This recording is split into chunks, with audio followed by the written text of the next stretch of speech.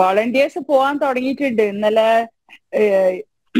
Palestine എംബസിയിലോ Indian എംബസിയിൽ ഒരാൾ വിസക്ക് വേണ്ടി apply ചെയ്തിട്ടുണ്ട് ഓൾറെഡി യുദ്ധത്തിന് പോകാൻ വേണ്ടി ഒരു മുസ്ലിം പെൺകുട്ടി. അതേപോലെ ഹമാസ് ഇനിയിപ്പോ കേരളത്തിലെ ഒരു പാർട്ടിയായിട്ട് വന്ന് മത്സരിക്കൂലെന്നാണ് ഇതിനേക്കാൾ അധികം നമ്മൾ പേടിക്കേണ്ട ഒരു കാര്യം. കാരണം സോളിഡാരിറ്റി വന്നപ്പം ആയിരത്തി തൊള്ളായിരത്തി എഴുപത്തി അഞ്ചിൽ ഇന്ദിരാഗാന്ധി ജമായത്ത് ഇസ്ലാമിനെ ഇവിടെ നിരോധിച്ചു അല്ലേ? നിരോധിച്ചു. അതിന്റെ അമീർ കെ സി അബ്ദുള്ള മൗലവിനെ ജയിലിൽ അടക്കുകയുണ്ടായി. ആ ജമായത്ത് ഇസ്ലാമി വീണ്ടും ഉയർത്തെഴുന്നേറ്റ് വന്ന് അന്ന് വോട്ട് ചെയ്യാൻ പാടില്ല എന്നേ പറയുക. ഐ തിങ്ക് ഒരു ഇരുപത് കൊല്ലം മുമ്പ് വരെ ഞങ്ങളെ നാട്ടിലൊക്കെ ജമായത്ത് ഇസ്ലാമി വോട്ട് ചെയ്യാൻ പാടില്ല പറഞ്ഞ് വീടുകളിൽ വന്ന് ഇലക്ഷൻ കാലത്ത് അവർ പിന്നെ നടത്തിയിട്ടുണ്ട്.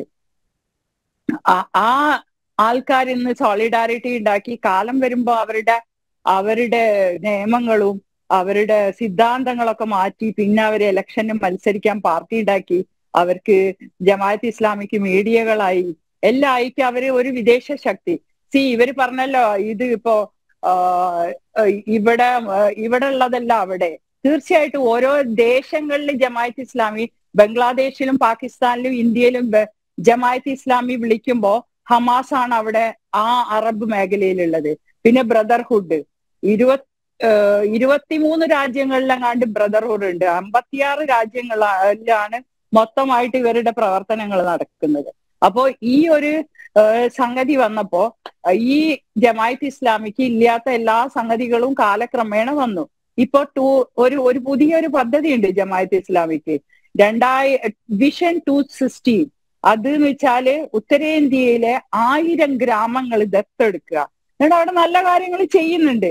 പക്ഷെ ആ നല്ല കാര്യങ്ങൾ ചെയ്യുന്നതിനോടൊപ്പം ഇവിടെ മതവർഗീയത വർഗീയ ശക്തികളെ ആ ഭീകരാവസ്ഥേനെ വാർത്തെടുക്കുന്ന പിന്നിൽ നിന്നിട്ട്. എല്ലാം ഇന്ത്യയിൽ ഇസ്ലാമിക ഭരണം. ഇസ്ലാമിലൂടെ മാത്രമേ ഇന്ത്യയെ മോചിപ്പിക്കാൻ പറ്റുന്ന ജമാഅത്ത് പേര് ഞാൻ ഇവിടെ പറയാൻ ആഗ്രഹിക്കുന്നില്ല. ഈ ജമായത്ത് ഇസ്ലാമി രക്ഷപ്പെടുന്ന ഇങ്ങനെ ഫേസ് ടു ഫേസ് ഞങ്ങൾ ഒരു വർത്തമാനം പറഞ്ഞപ്പോ എന്നോട് പറഞ്ഞ കാര്യം. ഇന്ത്യയെ രക്ഷപ്പെടുത്തണമെങ്കിലും ഇസ്ലാമിലൂടെ മാത്രം. ഞാൻ ചോദിച്ചു എന്ത് നാലുങ്ങളുള്ള ഈ നാല് കേരളത്തിൽ നിന്ന് ജമാഅത്ത് ഇസ്ലാമി എന്ന് പറഞ്ഞു പോയാൽ ഇന്ത്യ ഭരിക്കാൻ പറ്റുമോ ചോദിച്ചു. അതൊന്നുമല്ല ഞങ്ങൾ അതിന് വേണ്ടിയുള്ള പദ്ധതികൾ ചെയ്യും പിന്നെ അടുത്ത കാലത്താണ് ഇപ്പോഴത്തെ അവരെ vision is two thousand thirty twenty thirty vision ഇപ്പൊ അവർ ഏകദേശം ഒരുവിധം ഗ്രാമങ്ങളൊക്കെ എടുത്തു എടുത്തു കഴിഞ്ഞു. അതിനൊക്കെ വേണ്ടി ഫണ്ട് പമ്പ് ചെയ്യണതൊക്കെ കേന്ദ്ര സർക്കാരാണ് ശരിക്കും പറയുകയാണെങ്കിൽ ഇതിനൊക്കെ വേണ്ടിയിട്ട് അന്വേഷണങ്ങൾ പിന്നെ നടത്തേണ്ടത്. ഈ ഒരു ഫണ്ടുകൾ എവിടുന്ന് വരുന്നു? ഇത്രയധികം. ഈ ജമാഅത്ത് ഇസ്ലാമിക്ക് ഈ എന്താ പറയാ ഇപ്പൊ ഈ മലപ്പുറത്ത് നടത്തിയ സമ്മേളനത്തിൽ അതിന്റെ ഹമാസിന്റെ ലീഡർ വരിക എന്ന് പറയുന്നത് പിന്നെ വെർച്വൽ ആയിട്ട് ഉദ്ഘാടനം ചെയ്യാന്ന് പറയുന്നത് നമുക്ക് തരുന്ന ഒരു സൂചനയാ. ഇന്ത്യയിൽ ഞങ്ങളുണ്ട്. ഇന്ത്യ ഇസ്ലാമിക രാജ്യത്തിലേക്ക് കൊണ്ടുപോകും. ഭാരതത്തിന് മാത്രമേ ഇവർക്കൊന്നും ശരിക്കും പറയുകയാണെ കയ്യിൽ കിട്ടാത്തുള്ളൂ.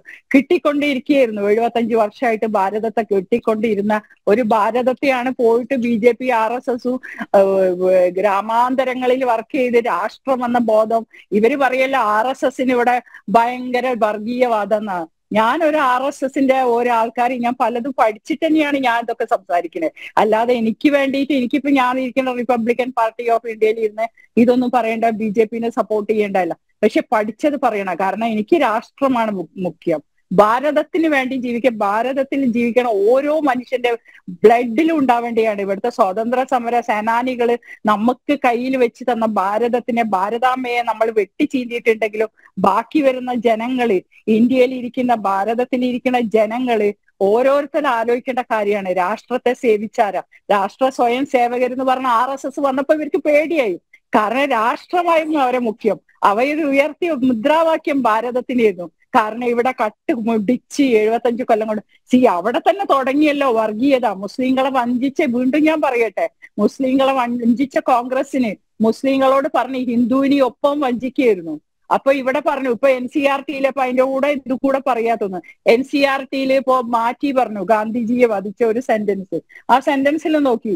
ഗാന്ധിയെ വധിച്ചത് ഒരു ബ്രാഹ്മണൻ ഒരു ബ്രാഹ്മണനെ വധിച്ചത്. ഒരു ഒരാളെ വധിച്ച്. അതിന് ഹിന്ദു എന്ന് ഹൈലൈറ്റ് ചെയ്യണ്ട. ആ ഹിന്ദു എന്നുള്ള വാക്ക് മാത്രമേ ആ പുസ്തകത്തിന്റെ എടുത്തു കളഞ്ഞിട്ടുള്ളൂ.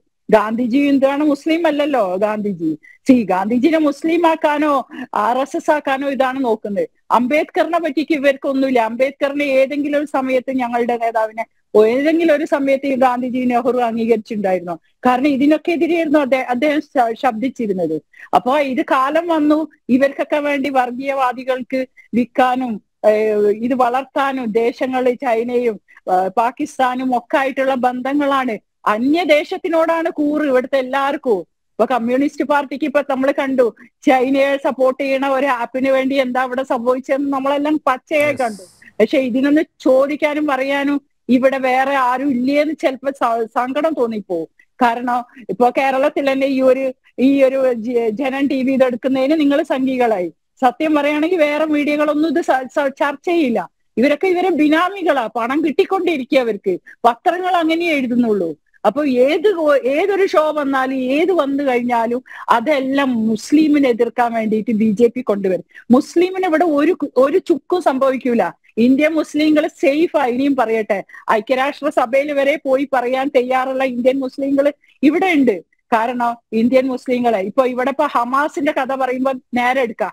ഇവർ ഹമാസിനല്ലാതെ ആരെ സപ്പോർട്ട് ചെയ്യാൻ അനിൽജി